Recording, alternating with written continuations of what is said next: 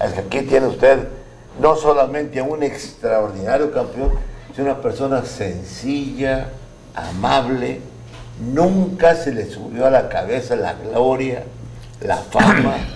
Yo me acuerdo que cuando le ganó a, a Durán, digo a, a Leonard, ¿puedo decir una, una anécdota de ese día? Sí, sabrosa, este, hasta con malas razones, pero de las muy conocidas, de las muy conocidas. Estábamos en Montreal y ahí Roberto conquistó a la afición de Montreal, de Canadá, porque él llegó y era simpático con todo, se metía con el público y empezaba a entrenar de una forma que a todo el mundo atraía. Y, y Leonard llegó muy nervioso, muy serio y tenía mucha gente que lo protegía.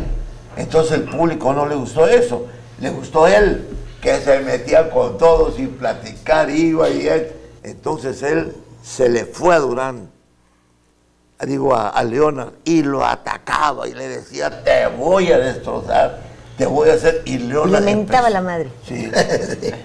Y el otro entendía la mentadota de madre. También vale. No, sí, sí. Dentro de ellos una cosa, este, eh, perdón que lo interrumpa, mi querido Solomón, a veces parece mentira, pero sí lamentamos, lamentamos la madre arriba.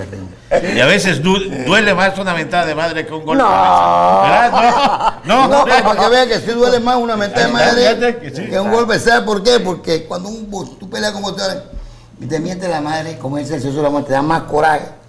Y te da ganas de pelearlo más, pero no de ganarle, sino de matarlo. Por eso digo que eso duele más, es verdad. No, le quería decir,